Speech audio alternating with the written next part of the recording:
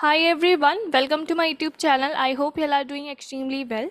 So today in this video, we are going to solve problem of the day on the GeeksforGeeks platform. So today's problem is binary tree to DLL, where DLL stands for doubly linked list, right? So first of all, we'll be understanding the problem statement, then the logic part, and then we'll be having a look on the coding part, right? Before proceeding further, make sure to subscribe my channel if you haven't done so because it will motivate me to make more such content for you. And i believe that the channel will be helpful for you. We are continuously putting multiple job opportunities and other placement related information on our channel. So it will help you a lot. So make sure to subscribe and turn on the bell icon as well so that you are not missing any notification from the channel side and do join our telegram channel and you can follow me on other platforms as well. The accounts has been mentioned in the description itself. So let's get started with the problem statement. The problem says given a binary tree convert it to a doubly linked list. In place the left and right pointers in nodes are to be used as previous and next pointer respectively in converted dll so what they are saying that see in a tree we have left and right pointer right? For uh, you know or like for example this tree we have. So this uh, we have the left pointer and the right pointer. And in case of a doubly linked list or linked list what do we have? In case of doubly linked list we have two pointer previous and next. So here what they are saying that left pointer will refer to previous one and right pointer will refer to next pointer right in the converted dll so the order of nodes in dll must be same as in order of the given binary tree right? So you must be knowing that there are three kind of traversal. Uh, basically we, we can include level order as well. So we have in order pre-order post order level order. So here what they're expecting from us uh, that the order in which we have to place the nodes in doubly linked list should be in order of the given binary tree. So the first node of in order traversal is going to be what? So in in order traversal what is the sequence? First priority will be to the left node then root or parent then then what do we have? Right node right? So obviously you know that as in terms of priority the leftmost node would be what? First node of the doubly linked list. So that's what they're saying this should be the head node of the doubly linked list. So this is a tree given to us right? So if you have to you know if you will be determining the doubly linked list for the same then this is what we are going to get. So for this tree what is the leftmost node? 25 right? 25 that's what we have. Then we have to process the node. So the node is 12 and what is the right child of 12 30 so we'll be having 30 then again process the node. So that is what? 10 then the right part of it. So here so this is the node 15 we have and uh, obviously we have to prioritize left node first. So it is it is having the left node which is 36 so first 36 then process that node so node is 15 right? The parent one. So 15 so that's what we'll be having. So here we are having uh, other examples as well right? So hope you must be getting the idea. So now let's let's get started for understanding the scene like how it is working what logic we're going to implement. Whatever task is to we have to complete the function b to dll that takes root node of the tree as a parameter and returns the head of doubly linked list. Expected time complexity and auxiliary space has been mentioned. So now understand the logic. First of all uh, what we can use uh, to solve this problem? As if it is a tree then something you must be thinking about recursion. Is it can we use recursion here to solve this particular problem? Yes, sure, we can. So let's understand how recursion is going to help us here.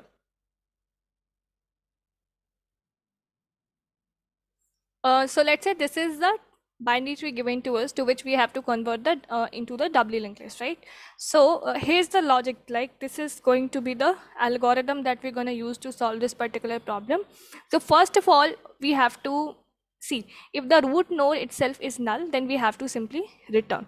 Otherwise see uh, what they have mentioned that we have to follow we want in order a traversal of the tree. That would be like how nodes would be arranged. So first of all uh, we'll be making a call to left node right? This is what do we have right? So first of all we'll be making a call to left part. Let's say this is the tree given to us. So if you will explore to the left part we'll move to the 12 right? So now this is the root. So we're gonna check. Root is equal equal null? No right? Then again we'll be moving to the left side. Now we have 25 so root again that is not null. So again we'll be making a call to the left. So this time the left is null right? So if you move here so root equal equal null the condition is true right? So what then we'll be having simply return. So if temp equal equal null so we'll be simply returning right? Because that's the left child was null for this one right? So here we'll be checking now if temp equal equal null. So for this temp and all let me mention that. So let's say we are taking two nodes head and temp. So we are initializing with them null right? So temp is equal equal to null?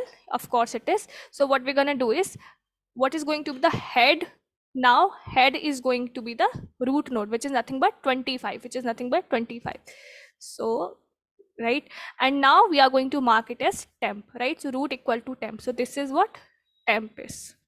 Okay. Now what we have to do is we'll be processing that node. We'll be returning back and we'll be processing that node. Okay. So now we have 12 so for 12 again we're going to check this part. For 12 again we're going to check this part. So temp equal equal null is it no right? It, it is not null this time. So else part will be executed. So temp dot right equal to root we have. It means uh the right of temp the right of temp is going to be the root which is nothing but 12 right? And root dot left would be see left is referring to previous one and right is referring to the next one. That's what even they have mentioned the question. So this is going to be the left of the current uh, root that we are having. And we are updating the value of temp as root so this would be our temp now. Right? So we have processed the node. We have processed the node. Right? Now we'll now we'll explore further. So next what do we have? We are done with 25 12 30 now uh, see you have processed the node. So right part is pending right? So here we'll be making a call. We'll be making a call to the right part of the node. So node root. Okay so what is the root? 30 right? So it is not equal to null. It is not equal to null right? So we'll be making a call to the left part of it. Left is null. We'll be returning back to the node. We'll be returning back to the node.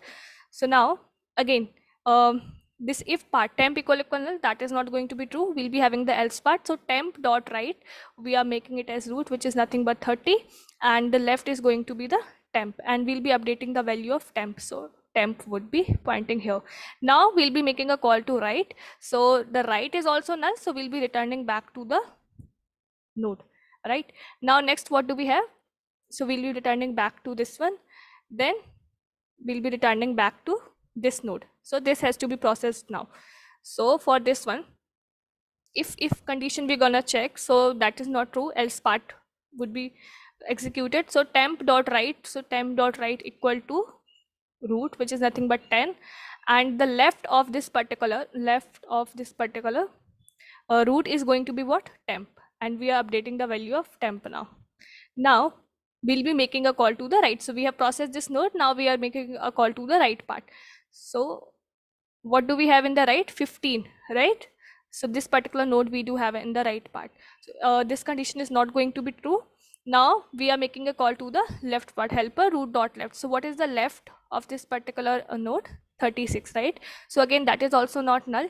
So again we are going to make a call to the left part. So now here in the in the left of this particular node there is null. So we'll be returning back to this particular node itself.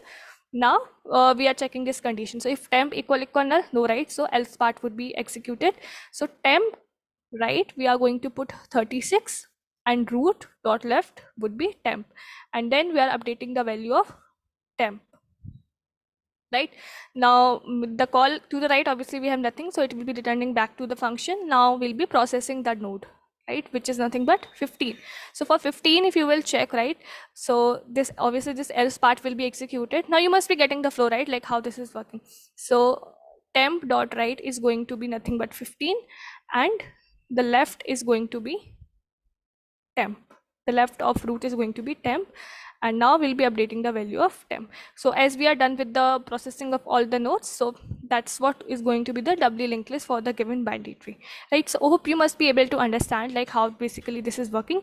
And at the last what we're going to do is we are going to simply return this head right in the function that is given to us. So we'll be simply returning this net and this is what our doubly linked list is so yeah that's that's you can see that was a good problem uh, related with recursion so hope you must be getting the flow. Hope you must be able to understand the algorithm. Try to do a dry run from your end right? So then you'll be able to get a better understanding. Now let's move to the code part. So yeah.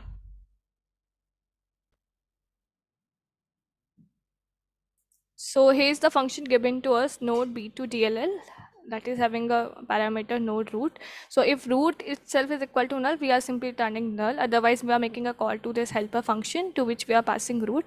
Now here we have taken two global variables head as well as temp which has been initialized with null. Now in this function see if root itself is null then we are simply returning. Otherwise so we are making a call to the left part. Now we are checking here that if temp is equal equal null so will be so head will be so root value will be equal to to that of head. Otherwise like you know we were we were discussing the same when i was discussing the logic part. So that's how we are updating the value for left and right pointer. And um, we are updating the value of temp as root. Okay and then we are making a call to the right portion so yeah that's what it is. I hope you must be able to understand the logic and the code part as well. I have provided the code in the description so that in case you want to have a reference from that. Thank you so much everyone for watching. Keep learning keep preparing. Bye bye